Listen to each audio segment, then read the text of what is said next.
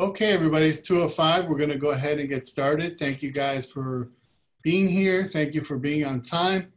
Today, we're going to talk about all about avocados, including laurel wilt. Uh, we're going to spend a good amount of time on laurel wilt. It's very important disease that's killing avocado trees. It's fatal. Uh, somebody in the chat already asked if I could talk about the, the beetle and laurel wilt. So yes, I'll definitely be doing that.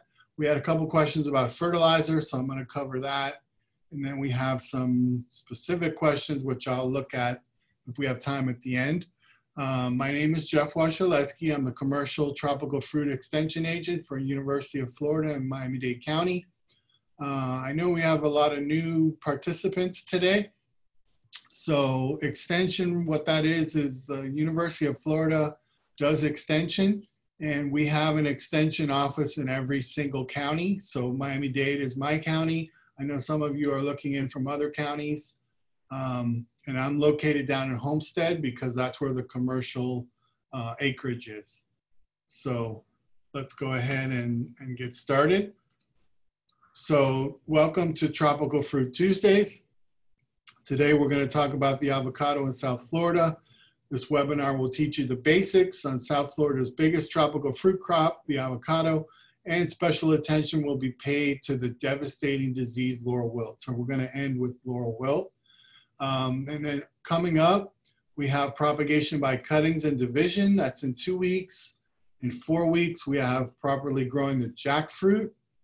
Uh, and then in October, we have tropical fruit with attitude and what that will be is fruits that have some sort of issues, some sort of problems that I can help you with. So for instance, avocado would fall there with laurel wilt because that's a big problem. So that's some of the attitude that avocado is giving us. Um, so uh, let's go ahead and get started. First, we're going to talk about uh, where you can get information. A really great place that maybe some of you don't know about is called EDIS, E-D-I-S. EDIS is a um, database of University of Florida publications. And you can't get into EDIS unless you're peer reviewed. So it's very hard to get in there, so it's very good information. If you notice this EDIS on the left, it has this little check mark. That means it's been peer reviewed. And this one is about Laurel Wilt. Um, we also have edises on just the avocado itself, which is very good. I have a copy of it here. And this page I'm showing you right here is many different cultivars with all their different um, attributes like season, flower type, fruit weight, fruit color, cold tolerance, production, scab susceptibility, and if it's recommended for, for you. And then most of the edises for different tropical fruit have this really great page, which tells you when to fertilize, uh, when to water, when to look for insects, when to look for disease, when to prune, and this is uh, January through December. So very good EDIS informations. Um, and you can look, there's also information on specifically on avocado pests there's um, this laurel wilt is for commercial growers. There's also one for laurel wilt for homeowners. And there's also establishing a grove for avocado uh, growers. So another place you can get information is just other universities. If the University of Florida doesn't have information on something, you can always type in, you can um, search your subject and then space and then edu. Edu is, is will help you find different universities. Uh, another good place to get information is YouTube because you can actually see what you're what you're learning. So I'll often look at uh, videos in between just other things and try to add to what I know. Uh, another great place to get information is Master Gardeners. I know some of you watching today are Master Gardeners, so thank you for coming. I myself was a Master Gardener and I really appreciate Master Gardeners. Uh, the best place you can probably get information is your own garden or your own grove because that's where you know if you see something, you know it's true. If you see something grow a certain way and then you treat it with certain something and it works, then you know it, it's true. So that's a great place to get information. And then finally, beware of where you get your information. Just because you read it on the internet or somebody posts it doesn't mean it's true. So be very careful with where you get your information. So starting with the avocado, uh, the scientific name is Persea americana. It was actually first introduced into Florida in 1833, so almost 200 years ago, so that's pretty amazing. There are three races of avocado, Guatemalan, West Indian, and Mexican. And then you have some hybrids of those. Uh, the Florida avocado, which can be um, Guatemalan, West Indian, or a Guatemalan West Indian hybrid, or West or Mexican hybrids. It won't just be straight Mexican. Mexican, the race is um, it, it prefers higher altitudes and cooler temperatures, so we can't grow those in South Florida. Uh, but it's a very good source of potassium. You get some vitamin A, and it's lower in fat than the typical avocado, the small little avocado that you get, uh, that you probably think of when you think of avocados. The, the small avocados are Hass. That's the cultivar name, and they're uh, Mexican Guatemalan hybrids. So we can't actually grow those in, in South Florida because of our humidity and our heat. And they're indigenous to tropical America. This breaks down a little bit of information on the different um, races, West Indian, Guatemalan, and Mexican. So their origin, tropical lowlands for West Indian, highlands for Guatemalan and Mexican. The foliage, if you crush the foliage with the Mexican, you get sort of a anise scent. Uh, the blooming season is there, February to March for West Indian, March to April for Guatemalan, January to February. So they're all pretty early on in the year, except Guatemalan. And then the maturity season, when the fruit are going to be ready, uh, May to September for West Indian, Guatemalan, September to January, and June to October for Mexican. And then there's this little thing down here that says hybrids have intermediate characteristics. So you get a lot of hybridization. Okay, so here's some West Indian types just to show you. Uh, you have Donnie, Dupuis, Hardee, Simmonds. These are West Indians. Um, Guatemalan West Indian hybrids. You have Nadir, Miguel, Beta, Booth 8. And like I said, this EDIS will have all these different um, cultivars and it will tell you more information about them.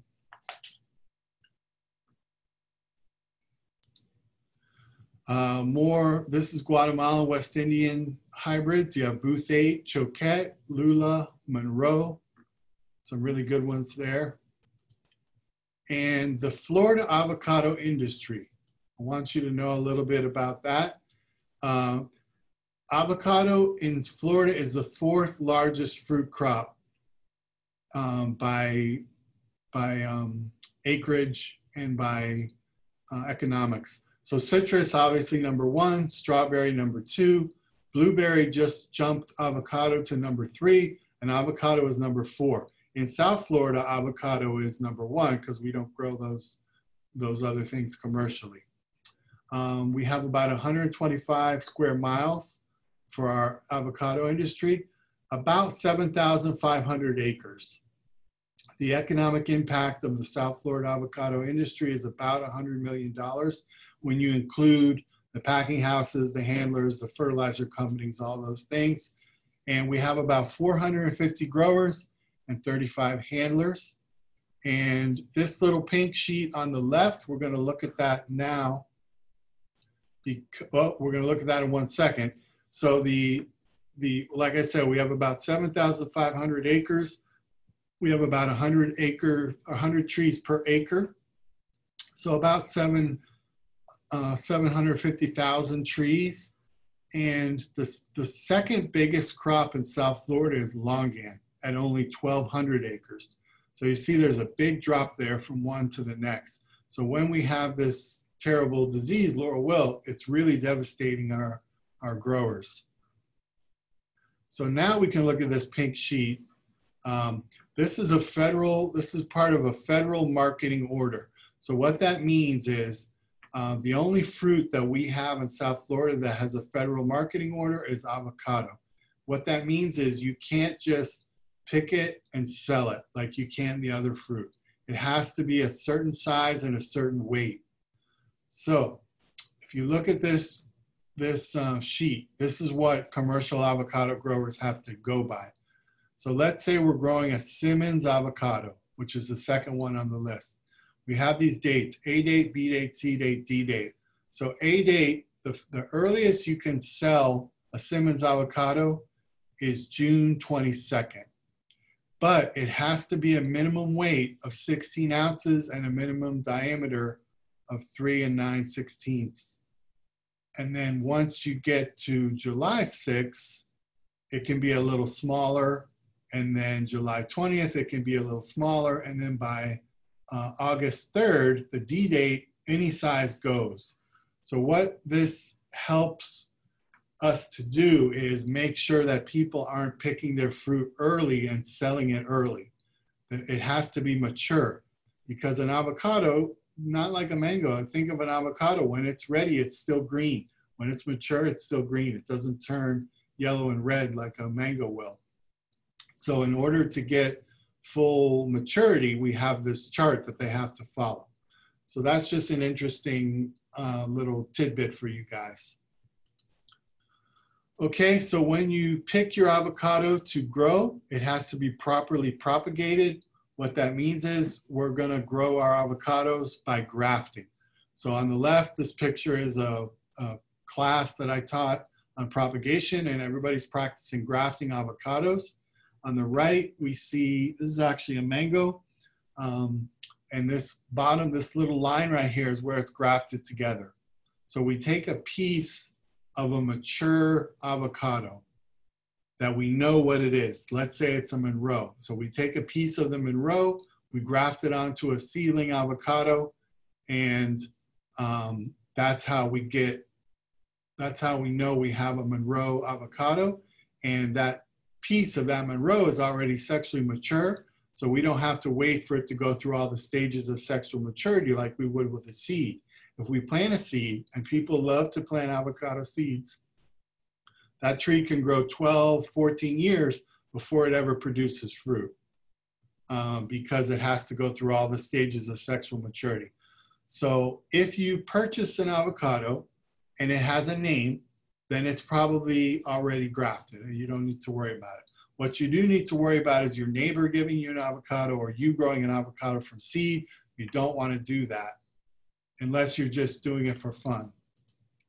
Okay, so not from seed. Here's an avocado, uh, here's a nursery selling avocados. Every one of these is grafted, all these different avocados. They're all grafted because we need to know the cultivar, we need to know what they are, um, and we need to know um, that they're already sexually mature.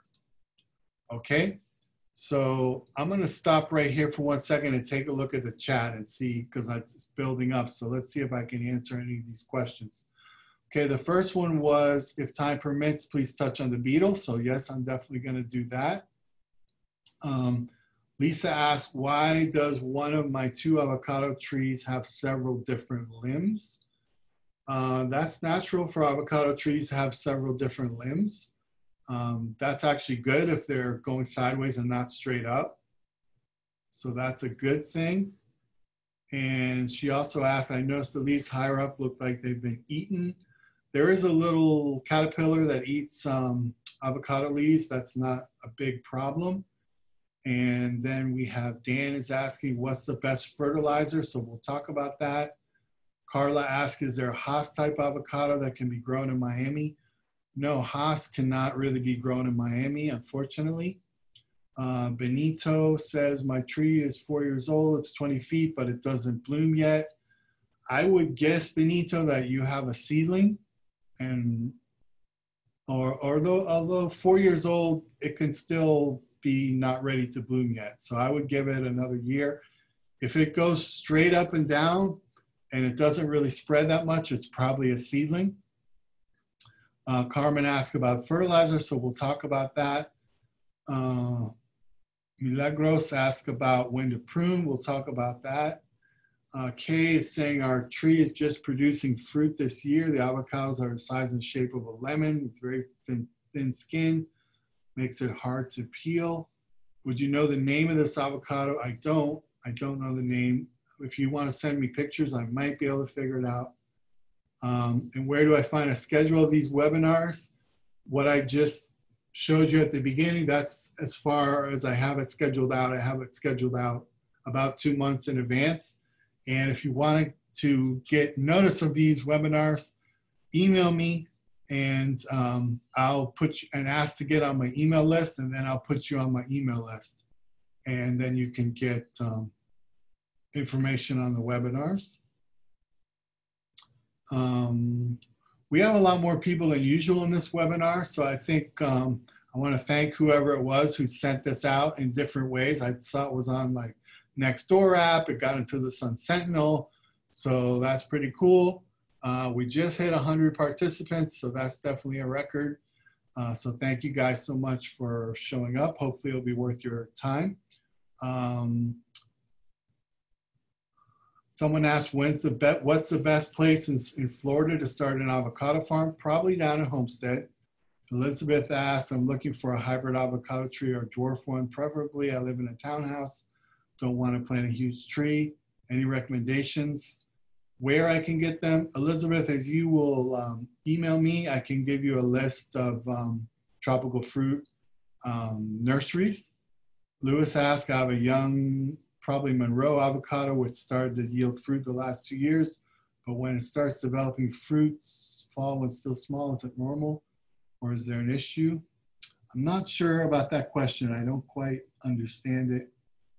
Um, Milagros we have plenty of avocados, but it seems squirrels or other animals took them. Yeah, that's a problem. Avo uh, squirrels are a big, big problem. Um, so not much you can do except try to pick the fruit as soon as it's mature. Uh, Maureen agrees with that. And someone asked for the link for the jackfruit class. That will be um, not available until like the week before the class. Uh, Julia can't get any sound, so hopefully she can now. Lynn planted a tree from seed. It was bearing fruit in four years. So that's good news uh, what's the best time of year to graft the avocado. I do have an EDIS on, um, on propagation and it covers grafting and it will tell you when the best time. Avocados, really the winter is the best time to graft them, um, which is the opposite of just about everything else. And I did do a webinar on grafting. So if you want that, email me and I'll, I'll give you the link to that. Someone's asking about a cultivar. I don't know what that one would be. Myrna says, my neighbor used to have an av avocado that matured January to February. Um, I would look at the, the chart. Um, Brooks Late is probably one there, or Reed. Um, it was on Nextdoor, great. Uh, we had a tree we brought from a nursery six years ago, no blooms or fruit. We were told it was the late season. It's under a bit of shade. Um, how long do we wait? So, man, we got a lot of questions here. So I'm going to stop on the questions now so we make sure to get through um, the rest of the information here. So someone just said they had a, a tree in the shade. So what this picture is showing is we need full sun for our avocados. So if it's in the shade, that's not great. So you want to plant in full sun. When you dig the hole, you want to dig the hole a little bit bigger than the container. Check the roots, make sure the roots aren't circling around. If they are, cut those circling roots. Plant the tree just a little bit above the ground level, just like a half inch to three quarters of an inch. If you put it too deep, that's really bad. We have some mango trees here I'm showing you that were too deep, that were that died because they were planted too deep. Once you get your tree planted, protect it somehow. Either put rocks around it like this, pull the weeds away, put mulch around it like this, or this is a commercial grove. They actually cut a piece of ground cloth and, and keep it like that. And then you can see they sprayed herbicide here. I wouldn't recommend spraying herbicide, but in these big commercial groves, that's something that they have to do. Another thing you can do is just like this mango here or this avocado here that has all the mulch around it, you can just pull the grass and keep it away. The reason you want to protect your avocados is because of this. You don't want this. This is weed whacker damage. So we're looking at a dead avocado that I pulled out of the ground, laid on the ground. We're looking at it from above. So you can see right here was where it was planted. Here's the first flare root. So that's a good level that it was at. So it wasn't too deep. But we can also see that it was really damaged by a weed whacker right here. And what that does is in these woody trees like mangoes, carambolas, lychees, longanians, and avocados, the middle part is what's called um, the xylem. And that's where the water and the nutrition goes up. But the outside is the phloem. That's where um, um, the food that the tree makes goes down to the roots. So if you cut that, you're strangling the tree, you're girdling it. So that's why you don't want your trees to get weed whacked. So go outside and look at your trees and see if they're being weed whacked and then try to try to stop that. Okay, so as far as watering in South Florida, we have two seasons, wet and dry. And the dry season is gonna start about November and go to about April. We only get about 14 inches of rain during that time. May to October, we get about 43 inches of rain. So you can see that's the best time to plant would be early May, because then you're gonna catch all that, that um, rain and you're not gonna have to water as much. So our soil in South Florida is this, this uh, limestone here. It's a hard rock. That's what it looks like. And it's high in pH. So a lot of questions about fertilizer. So a good fertilizer for most fruit trees is 839. So those three numbers, what those are, are nitrogen, phosphorus, and potassium. On every fertilizer label, you'll have the three numbers, and they're always nitrogen, phosphorus, potassium. Nitrogen makes the leaves green, makes the tree grow. That's the first number. The last number is for flowering and fruiting. So that's why you see that number is a little higher. So that's good. So that's what you want. Now, if you're having trouble with your tree setting fruit or fruiting, I would try something like a 0024 where it's just all potassium and that will help to um, help the tree set fruit. So we're gonna get questions like, when do I fertilize? So this is granular fertilizer. This will come in a bag. You're gonna put on long pants, long sleeve shirt. You're gonna put on a little mask.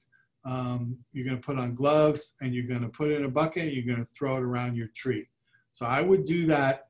If your tree is looking healthy, I would do that maybe once or twice in the summer months. So starting in June, then maybe in August. Or if it's looking really healthy, maybe just June. You don't need to do it if the tree is, is looking pretty good.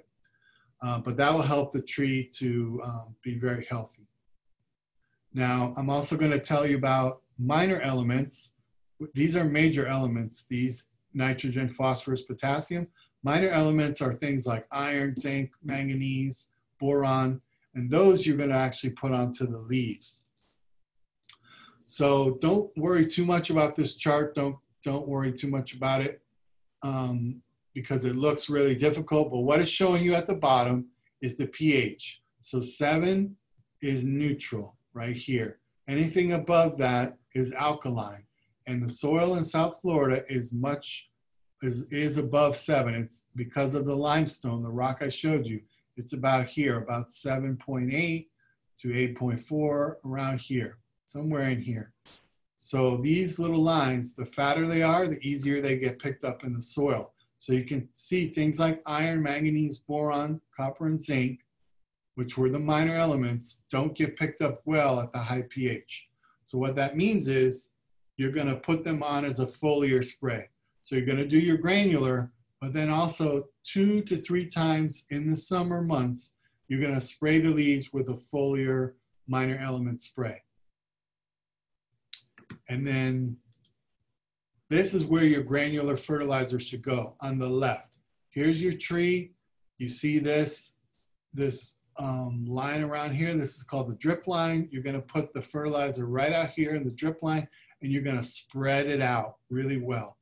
This picture on the right is exactly what you do not wanna do. You do not put it in a clump. You do not put it next to the trunk. This is absolutely terrible what was done here. Um, and I'm sad to say this was on our property. The, the grounds crew did this. So the only good thing is I had a picture to show what not to do. So, okay, pruning. We'll talk about this. And I did do a whole webinar on pruning. So if you if you want to see that, you can ask me for the link to that. Anybody that asks me for a link, I'm just going to give you the links to all the webinars so you have them. So why do we prune fruit trees and avocados? We do it for size control. It makes them easier to spray. The fertilizer I just talked about. It helps with disease because you get better airflow. It reduces the amount of chemicals you need to put on your tree because the tree is going to be more compact. You get higher quality fruit because you're getting good airflow, you're getting good sunlight. And the overall health of the tree, you're taking out any, any dead wood or any bad wood like that. And it also, it's, it makes your tree look very nice. Okay, so the tools I use to prune are a hand pruner on the left, in the middle, a lopper, and then a handsaw. Handsaw are for big branches. Uh, the lopper is for about half inch to an inch and a half.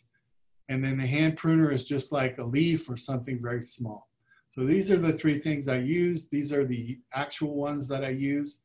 Um, I like these because you can take them apart and sharpen them and clean them except for the handsaw that you just replace the blade.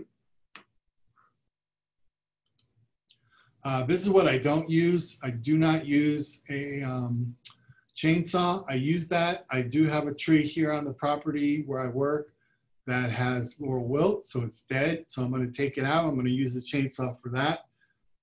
But I don't use that for pruning. It's too easy to make quick cuts without thinking about it with a chainsaw, so I don't do that. Okay, so some pruning tips for avocado trees.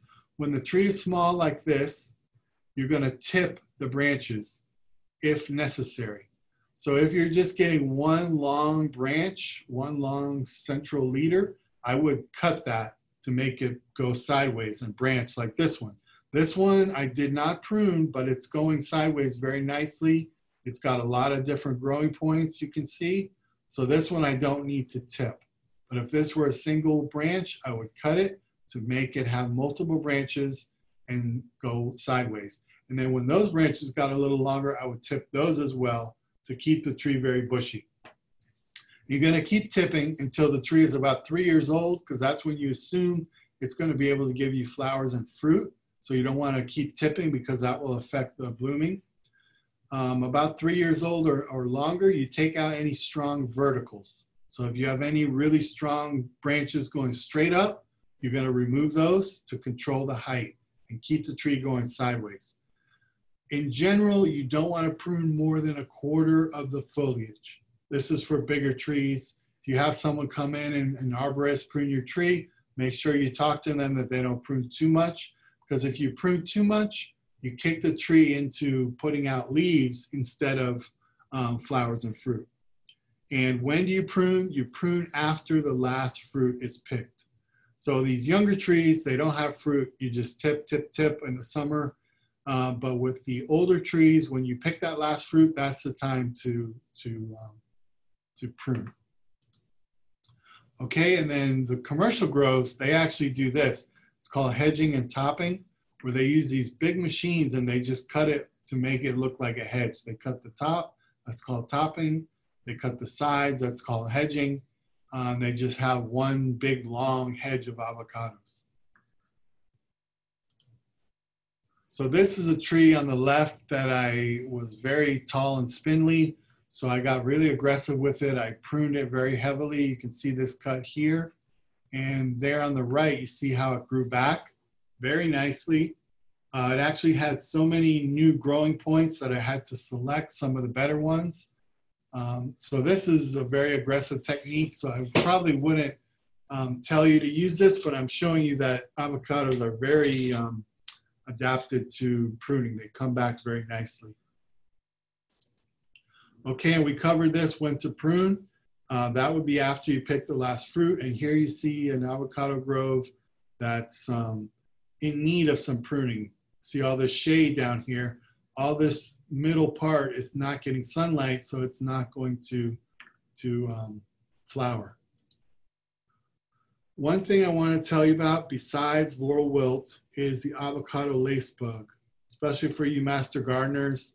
You're going to get people sending you pictures like this one on the left. And what that is, if you turn the leaf over, you have these little bugs, these avocado lace bugs, and they do that damage, and that's what causes it. The good news is this usually happens right when the tree is about to drop all its leaves and put out new leaves, so you don't need to spray or do anything uh, for this. Okay, so now we're going to get into laurel wilt for the last part of the um, presentation. So I'm going to go ahead and look at the questions real quick. Um, any thoughts on commercial avocados more up north in Florida? I think um, as we were warming a little bit, I think you can get a little further north with your avocados and people are doing that commercially. Felipe asked, does hammering iron nails into the tree do anything? I wouldn't do that. I don't think that's a good idea. If your tree needs iron, um, there's a product called Sequestrene 138. Sequestrene 138 that's uh, chelated iron, and that works really well to give your tree iron. Matthew asked, I had a tremendous amount of small grape size avocados growing on one tree a month or two ago. They all fell off. Do you have any thoughts on how do you prevent this? It's sometimes normal for, for avocados to lose a lot of fruit like that. And one thing you can do is that potassium that I told you about. So like a zero, zero, 44 or a 0024, something like that, that will help to keep the fruit on the tree. Um, Verna asked, what's the smallest acreage practical for avocado farming? Uh, I would say probably five acres. Julia asks, can you cut up avocados and freeze? I don't know if you can freeze them. So if somebody knows the answer to that, I know somebody does, go ahead and put that into the, uh, the chat. Uh, any tips to ripen an avocado? Baking an avocado in the oven didn't work and foil as found on internet. Well, you need to make sure that the avocado is mature when you pick it. Because if you pick it too soon, it's never going to ripen. Um, and then you can put it in a, like a paper bag with a banana. That's usually the trick that works. Renee asked, my tree did not grow for two years, stayed at 12 inches, then jumped to 10 feet and bear fruit on the third year. Now 20 feet and the tree is full. Uh, that's great news. Um, any suggestions for growing anything under the avocado in the backyard? Ferns, give it a wide berth. Uh, aroids are good for underneath. Uh, Wana asks, when do we fertilize? So I hope I covered that. Carmen asks, I use the one on the screen, but mine states with Sutrex, is that okay? Um, she's talking about the fertilizer. Yeah, that's, that's fine. Um, David asks, should you fertilize with fruit on the tree? I think it is okay to do that. Julieta says, Julieta says, is avocado tipping necessary like we do with mangoes? So like I said, if it's already spreading, you don't need to, but if it's not, I would tip it. David asked, after pruning a mature tree, do you need to apply a coating? Uh, no, you don't. What you do need to do is kind of protect that cut from um, full sun. If you do a big drastic cut like the one I showed you, I covered that up with um, the, the, leaves or the branches that I cut so it wouldn't get sunburned. Uh, freeing, yes, you can send me the picture. Uh, Elizabeth says I freeze guacamole all the time. Costco sells bags. So everybody's saying, yes, you can freeze. Um, someone asked, can you tell us more about the links we can ask for? Those are just the links to the past webinars. This one's being recorded. Uh, so that means after this, if you wanted to watch this again, I could give you the link and you could watch it. Um, okay, so let's get into the final section here. We have uh, just about five minutes left, so we're gonna go through this. Laurel wilt, it's been detected everywhere. These are the states it's been detected. I believe it's 11 states. It actually came in here in Port Wentworth, Georgia in 2002. It came in in a little tiny beetle called an ambrosia beetle. The beetle is as small as if you look at a penny, you look at the date on the penny, maybe a couple of those numbers, well, it'll be that small. It's very small. And it's a fungus farmer. So it's carrying a fungus inside of it to grow. So it drills into these native trees over here called swamp bay that are related to avocados. They're in the Lauraceae. So they're in the laurel family, same as avocado. And it grows a fungus inside the tree. And you see it's gone as far as Texas. It's in every county in Florida, the disease. And like I said, it came into Georgia in 2002. This is the name of the fungus, Raffaelea lauricola. It's attacks trees in the Lauraceae, which there's over 500 species. It's killed half a billion native trees. In South Florida, it's killed about 120,000 avocado trees. The vector, the original one is this, Xyleborus glabratus, but that's not the one that spreads it in South Florida. It got to Miami-Dade County in 2011. It got to our first avocado grove in 2012. So this is a piece of wood and you see these little galleries. The beetle drills into the wood and makes these galleries and grows the fungus. So that fungus is growing inside the tree. And what happens when that fungus is in the tree, it's actually in the xylem, that middle part of the tree that I showed you. That's where the water goes up. So the tree tries to block the fungus. So it uses these things called tyloses. So tyloses form in the xylem to block it off, to cut off the, the fungus. But the fungus is aggressive, it jumps that and it keeps trying to block, block, block, block, block.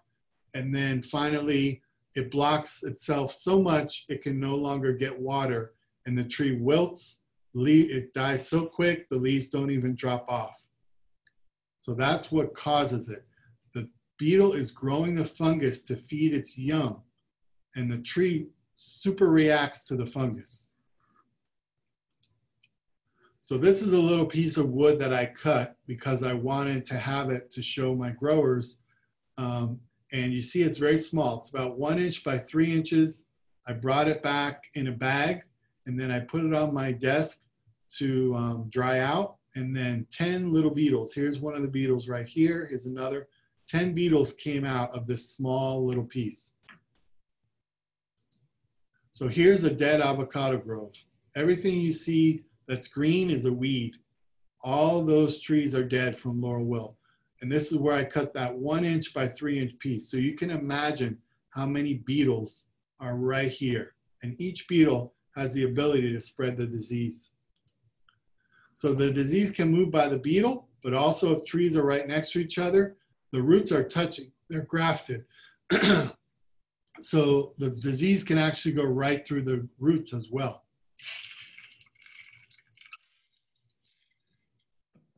So here you see about two or three trees that are all right next to each other and they died by root grafting. It can also uh, move if you take some of the wood and move it from one place to another. So the symptoms, you'll start out with this, this sort of um, wilting, you'll see a section will die first, the leaves stay on the tree. You have these little sawdust tubes, which I think I have a better picture of later. And if you cut in to see the xylem, it's dark. It's not light, which it normally would be. You have sawdust. You have all these little holes. These are the, the, the boring galleries. Here you see all the sawdust tubes. So on the, on the left, that's normal xylem, it's white. And on the, the middle, that's a dark xylem that's caused by the um, fungus. So unfortunately, when you have a tree that has laurel wilt, there's nothing you can do. You have to destroy the tree. So if you're a commercial grower, you constantly scout looking for these trees and you pull them out and you destroy them. If you're a homeowner and you just have one tree, you need to get it removed because it's going to be a hazard. But the odds of it going to another avocado tree in your yard are smaller unless your trees are close together. Now, this will not attack mangoes or lychees or longans or anything else. It only attacks um, avocados and related trees like swamp bay. So here's a grove. It had one tree. They did nothing. And it became 95 trees in just six months. So that's how fast this can move if you don't get aggressive with it. So advice for grove owners and arborists and, and for you as well, scout for trees with symptoms, remove the trees quickly, remove the stumps because you don't want the roots to keep touching the other trees. Chip the tree or haul it away or burn it. Do not leave the wood in place. Do not store wood anywhere. Keep trees pruned the, the, the beetle that attacks these trees or, or that drills into the trees to grow its fungus, it doesn't like a lot of sunlight. So that's another good reason to keep your trees pruned. A large dead tree left in place is a dangerous and a hazard, so you don't want to do that. And if no other avocado trees are near the diseased tree, you can just cut it flush with the ground. You don't have to remove the stump. Okay, so sorry to end on such a bad note there with um, Laurel Wilt. But um, the good news is next time we'll talk about cuttings and division, propagation. So that will be a little more um, uplifting. Um, I don't know if you want to really to get into growing avocados at this point because of Laurel wilt, especially commercially, it's going to be difficult. If you just have one tree in your yard, the beetles do not like small trees or young trees. But once the tree gets to a certain width, I would say, you know, uh, five, six inches, that tree is, is could be in danger from laurel, laurel wilt.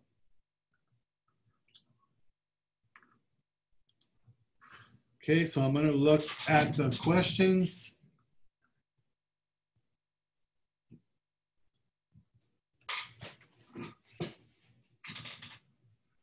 So someone's asking where can we get grafts from? If you're asking about grafted trees, I do have a list of um, nurseries that sell grafted trees.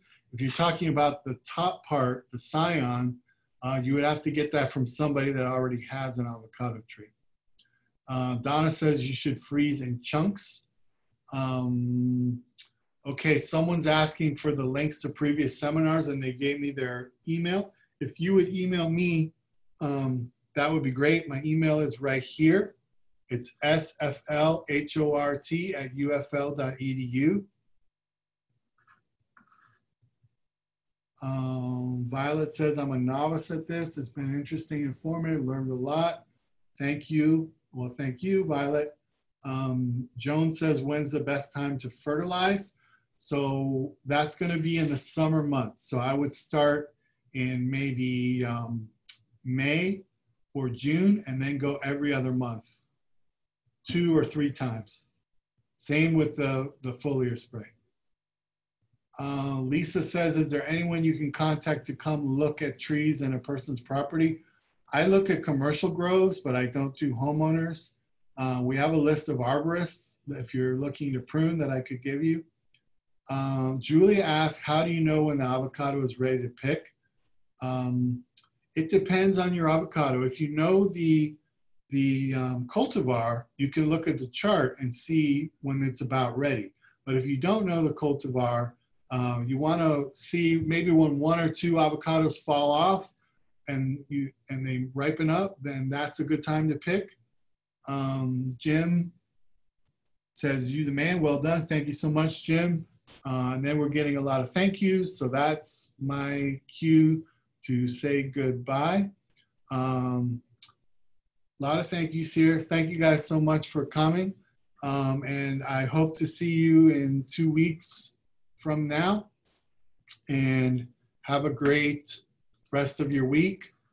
And thanks again for coming, guys. Have a good day. Bye bye.